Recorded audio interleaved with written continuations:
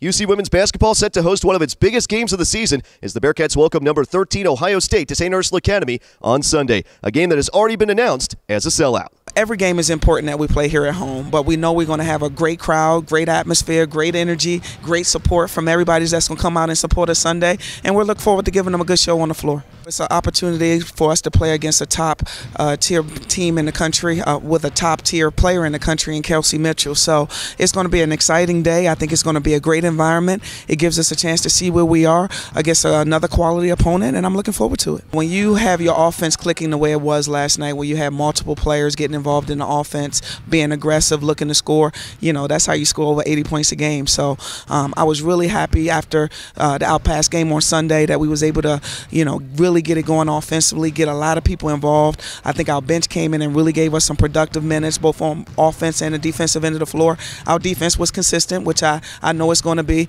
and it was just good to see us put some points on the board again. You just want to take it one possession at a time against a good team. You want to make sure you value the basketball to give you a chance, yourself a chance to get a shot at the basket. And defensively, it's about you know really containing the basketball. Kelsey Mitchell, when she gets a full head of steam, she's hard to stop. So we want to contain her as much as possible. Um, really make sure sure we contest their shots, limit them to one shot, don't give them any second shots. So we're going to really work on um, really, really getting the body on them and holding them off and, and really making them hard for them to get some second shots on us and, you know, just play one possession at a time, Matt, and see what happens. We just want to make it tough. We want to make them make extra passes within their possessions, and we want to make sure we're five guys on the same page. Whatever defense we in, I want all five players to be in the same defense, just to give us a chance to contest, box out, and rebound, and uh, go to the other end and make make some shots. Hopefully.